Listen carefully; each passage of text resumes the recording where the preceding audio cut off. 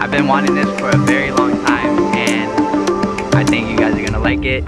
So check out what we got.